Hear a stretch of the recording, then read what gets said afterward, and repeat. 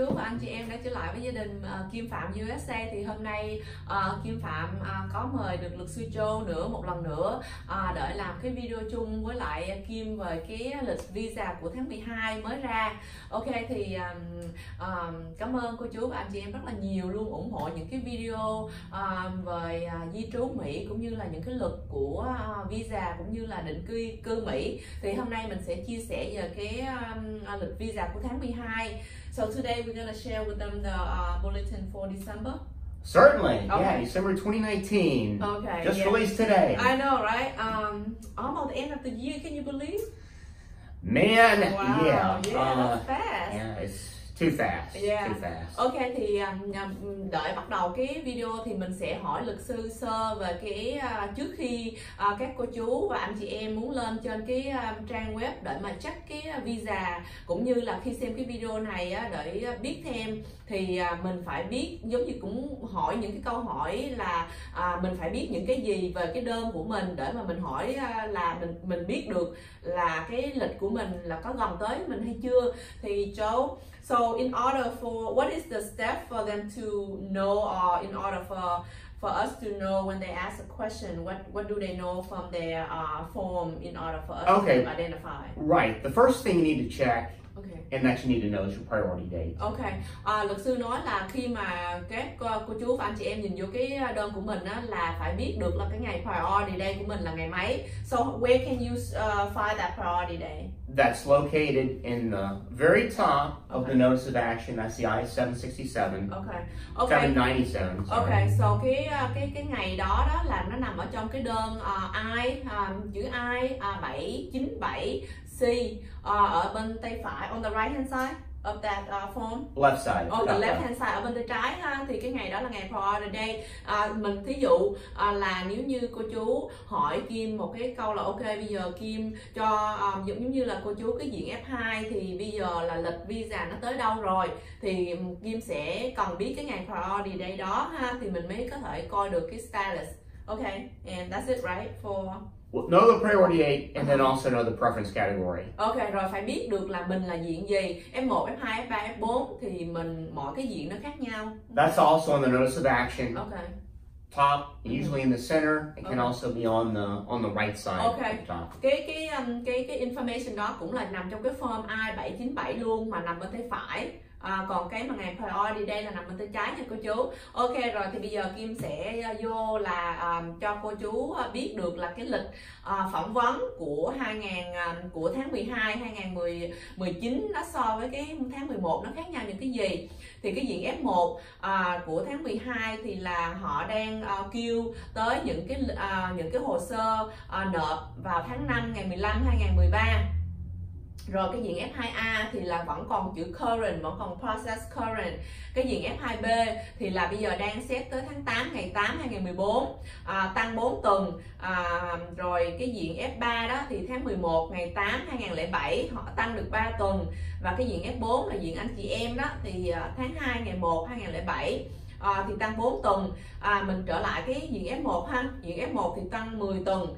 Ok, rồi cái đó là cái lịch của phỏng vấn um, cho tháng 12 2019. Rồi bây giờ đây là những cái uh, cái cái cái cái lịch cho hồ sơ, mở hồ sơ có nghĩa là cho những ai mà đang còn đợi um, uh, sở di trú gọi để mà uh, bổ túc hồ sơ thì cái diện F1 tháng này là đang xét tới tháng 11 ngày 15 2013 tăng 10 tuần uh, diện F2 diện F2A là đang xét tới tháng 10 ngày 1 2019 là tăng 4 tuần và diện F2B là tháng 2 ngày 8 2015 tăng 4 tuần và diện F3 là tháng 5 ngày 15 2008 tăng 4 tuần và diện F4 là đang xét tới tháng 7 ngày 22 2007 tăng 3 tuần So far it's pretty good. Everything look like it's moving. Moving Uh-huh. along. Yeah, It, you know, moving can always be faster, but uh, at Yeah. least it's moving. Right. Okay. So um, đó thì bây giờ thì uh, trong cái video này mình sẽ chia sẻ uh, thêm mình sẽ đọc uh, những uh, những cái câu hỏi của cô chú và anh chị em đã liên lạc với mình. Uh, có rất là nhiều câu hỏi mình đã trả lời rồi. Uh, và có vài câu hỏi thì có nhiều cái trường hợp đặc biệt cho nên mình uh, mình sẽ đọc câu hỏi và mình sẽ hỏi luật sư rồi uh, mình sẽ um, cho cô chú và anh chị em biết ha à, rồi um, sau cái video này á, thì mình sẽ hướng dẫn cũng như là mình nói chuyện với luật sư à, về cái cách mà làm sao à, mình check được cái hồ sơ của mình và mình sẽ làm một cái video à, để mà à, giống như là làm sao mình lên trên cái website để mà mình à, à, mình mình à, tìm coi là cái hồ sơ của mình nó đi đến đâu. Và nếu như cô chú và anh chị em nào có thắc mắc nếu như mà mình nói hơi nhanh trong video mà cô chú và anh chị em có thắc mắc thì có thể xuống cái phần mô tả mình có đợi dưới phần mô tả. Còn không nữa thì cô chú và anh chị em có thể lên cái website của văn phòng luật sư là cái website là www.vn2vs.us.com à, I'm sorry www.vn2us.com Okay, so um, Joe, I have few questions here from my uh, YouTube uh, Okay. family, so Certainly. I'm gonna uh, get some answer for them. Um, so today, it look like I have three questions. Hôm nay mình có ba câu hỏi ha, cô chú. Ok, câu hỏi thứ nhất là hồ sơ mình F4 ngày ưu tiên tháng 9 2006 đã được báo complete 6 bước à, vào ngà- tháng 5 ngày 10 2019 thì khoảng bao lâu nữa có lịch phỏng vấn vậy? Cảm ơn. Okay, so this question is um, uh, CAT 4 F4 uh, priority date is September 2006. Um, the file was already completed in May 10, 2019. Okay. So this person want to know how long it takes for um, for them to get an interview, like receive a notification for interview. Okay, by completed, you know, as as long as this one's been pending, 2006, should should have been approved by USCIS, should have been approved by the State Department.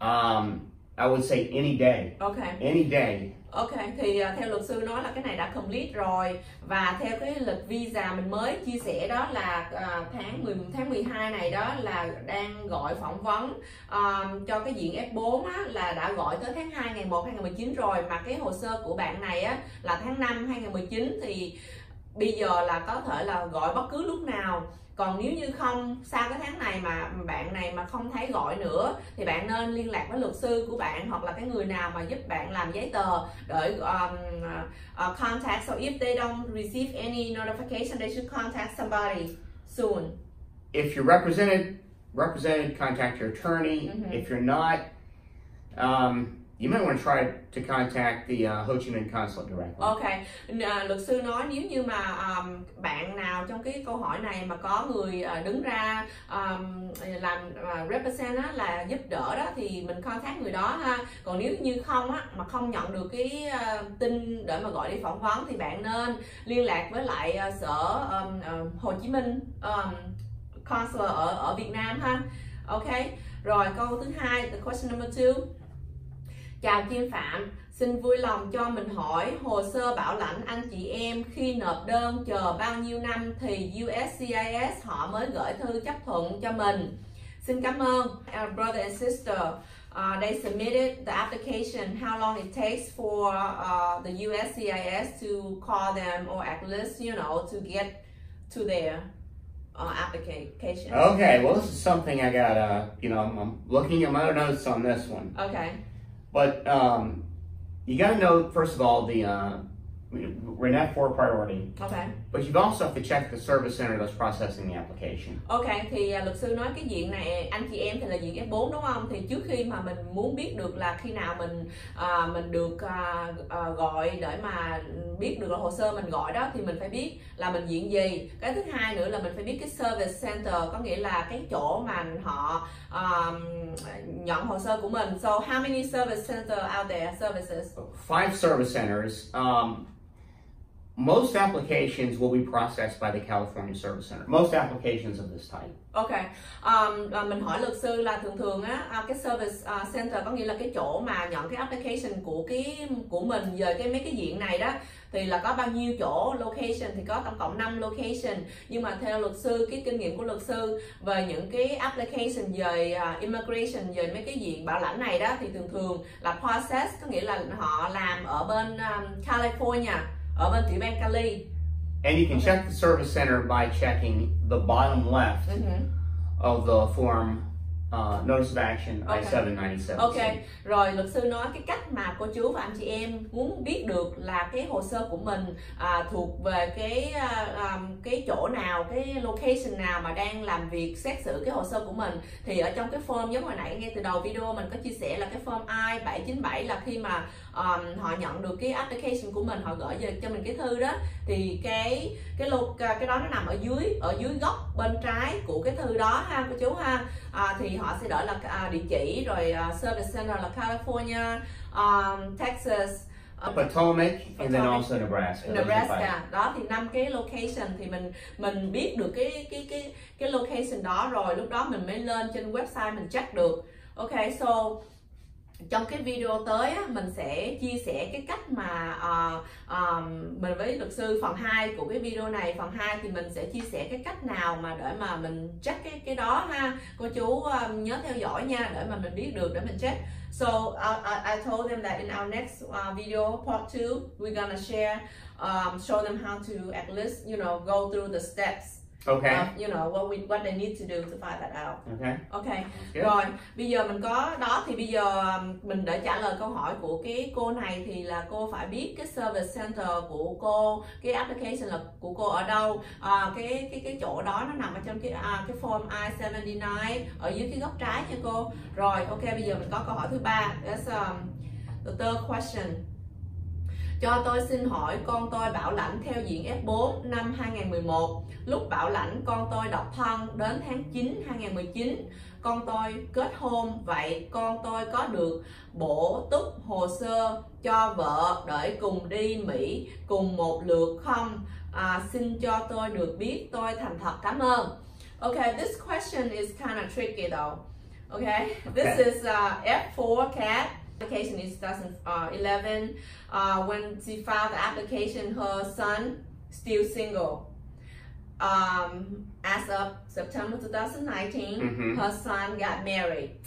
So her question is, she want to know if um, she can um, what you call uh, uh, Bring the son yeah, and bring the, the, wife. son and the wife together with with her. Right. Yeah. Okay. Um, unfortunately, if you're a beneficiary of an F4 petition and you have children Mm-hmm. who um, would otherwise be able to join you as derivatives with your with your petition, Mm-hmm. um, if they get married, then uh, no, Come. Um, đó cô chú và anh chị em cũng nghe đó cái câu trả lời của luật sư là nếu như mình bảo lãnh nhưng mà cái người đó à, cái người con mình bảo lãnh qua mà đã đám cưới rồi thì cái câu trả lời là không được đem theo. Um, ok but um, so this is cái câu này nó hơi khó và nó cũng có à, nó cũng có một cái gì đó um, case by case là giống như tùy trường hợp. Thì uh, ok do you think she can contact uh, her lawyer or she can contact us Uh, certainly, yeah, certainly. You know, we'll we'll look at it. Ok, luật sư nói là cái này nó hơi ờ, hơi ờ, ấy một chút thì nếu như cô mà có coi cái video của con á, cái video này á thì cô có thể liên lạc với văn phòng luật sư. Câu trả lời là không nhưng mà có thể là luật sư sẽ nhìn vô trong cái application cái hồ sơ của cô và có thể luật sư giúp được cho cô. À, thì cái um, khi mà cô lên cái website là www.vn2us.com thì ở trong đó à, cô sẽ liên lạc được với cô Jenny. Cô có thể nói chuyện với luật sư à, cũng có số phone của con trong đó nữa nhưng mà cô có thể nói thẳng với Jenny. Jenny nói với luật sư rồi luật sư sẽ giúp cho cô. Thì mong rằng khi mà cô liên lạc với lại văn phòng luật sư luật sư sẽ giúp cho con cô và à, và con dâu của cô à, đoàn tụ chung với lại cái hồ sơ của cô ha. Đó thì có rất là nhiều cái ở trên video mình không tiện nói được nhưng mà khi mà cô liên lạc với luật sư thì có thể luật sư giúp được. Ok rồi à, thì hôm nay um, À, một lần nữa cảm ơn à, cô chú và anh chị em rất là nhiều xem cái video à, lịch visa của tháng 12 à, thì à, cái mình ráng làm ngắn gọn để không mất thời gian của cô chú và anh chị em. So I think that's it. We cover basically everything. That's the December bulletin. Yeah. Ok, đó. Thì à, một lần nữa nếu như cái video mình nói hơi nhanh Thì cô chú và anh chị em xem cái video mà à, hơi nhanh á Thì à, à, sẽ đi xuống ở dưới cái phần mô tả. Mình có list ra ở dưới phần mô tả ha Các cô chú và anh chị em nhìn vô đó giùm mình ha. Để theo dõi cái à, cái cái lịch hồ sơ của mình. Mà nếu như mà nhìn vào mà vẫn à, vẫn còn thắc mắc thì có thể comment á um, viết xuống dưới và hỏi mình thì mình có thể hỏi luật sư cho và à, mình trả lời được à, liền lúc đó thì mình trả lời còn không thì mình sẽ để dành lại những câu hỏi và cái video kế tiếp mình sẽ trả lời trên video. Um, rồi à, thì mình sẽ chấm dứt video tại đây. Hôm nay thì cảm ơn cô chú và anh chị em rất là nhiều luôn ủng hộ um, gia đình Kim Phạm USA uh, luôn ủng hộ Kim Phạm và luật sư Joe một lần nữa thank you Joe thank, thank you, you Kim oh, appreciate okay so hopefully I see you next time again. Certainly. Okay. Enjoy. rồi hẹn gặp lại cô chú và anh chị em trong video sau. Bye bye. Bye. Bye